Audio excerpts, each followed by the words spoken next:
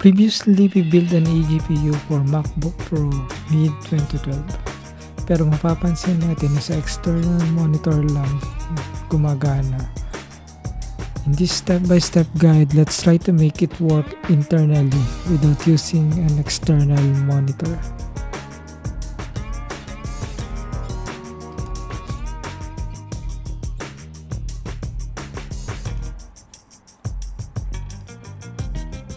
So before we start, mapapansin natin dito yung dalawang working na GPU ng MacBook.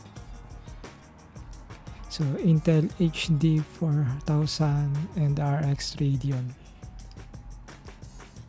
So try muna natin i-check gamit ang benchmark natin if wala tayong external monitor.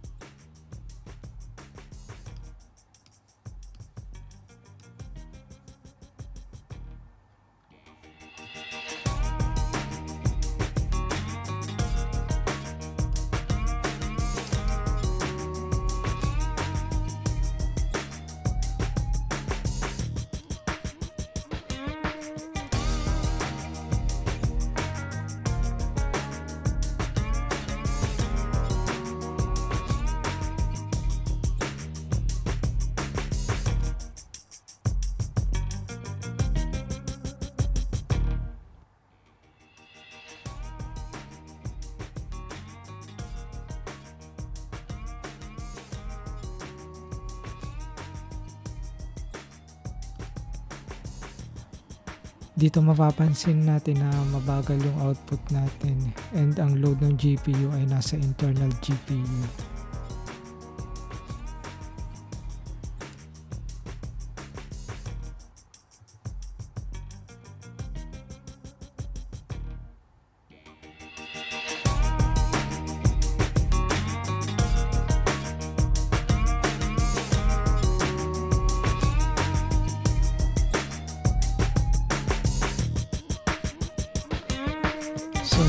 Right now let's try to fix it. On your browser we need to go to github and search for set a gpu-sh script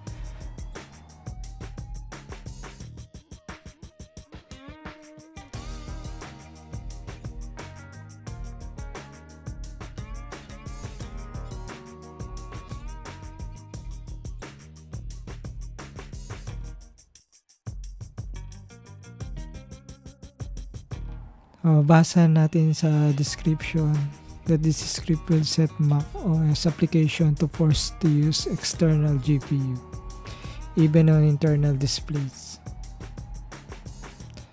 If you have time, you can also check yung uh, documentation.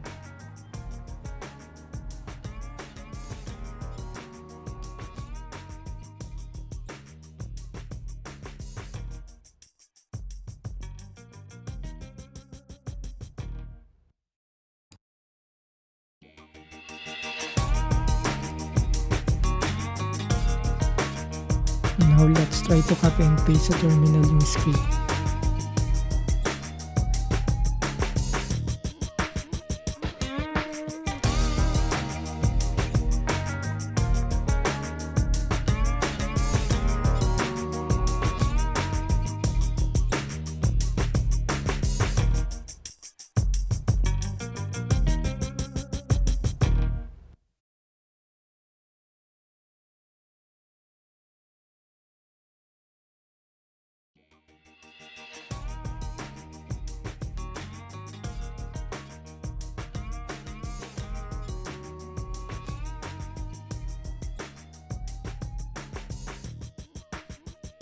Mapapansin natin we have several options to choose.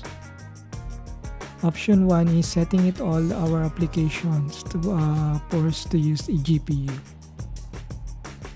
Second option is we can select what application, specific application na gagamitin yung eGPU.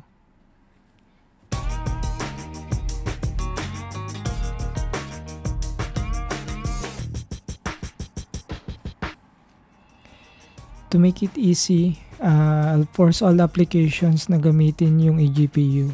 So select one, then hit enter.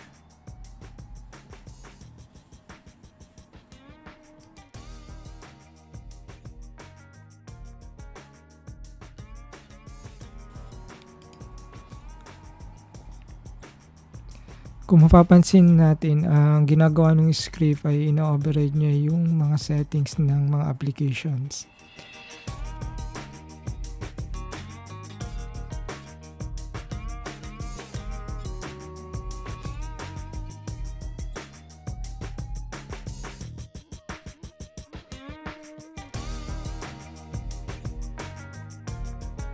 So once done, close na natin yung terminal.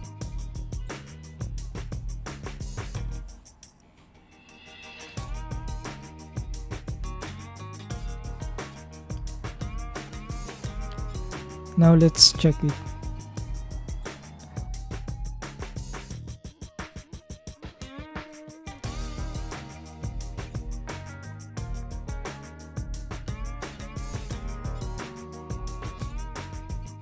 Select natin yung Heaven at Chrome application. So right click lang natin and get info. Kung mapapansin nyo sa get info, magkakaroon tayo ng tick mark na prepare external GPU. Then check lang yung options.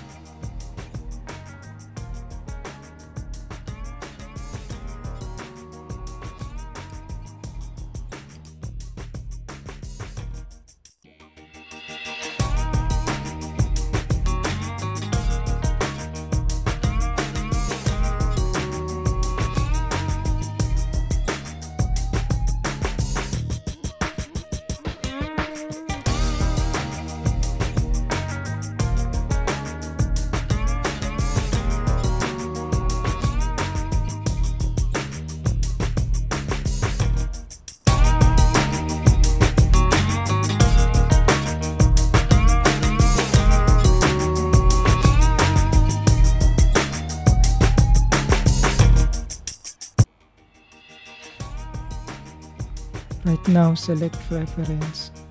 Search natin yung system monitor. Sa mga options sa taas, select lang natin yung Windows then select GPU history. Now let's try to check yung performance ng natin.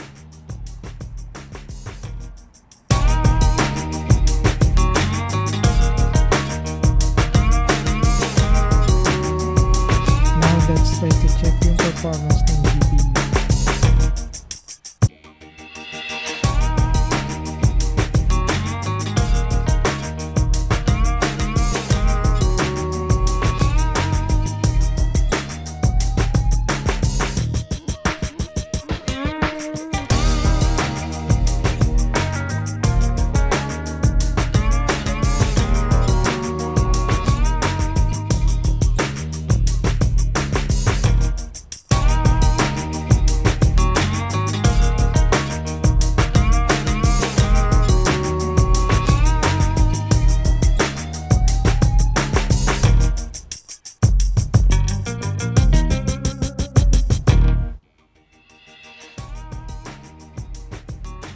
makikita natin na ang load is nasa second GPU na natin which is yung RX. At mapapansin natin smooth na yung performance sa Heaven application.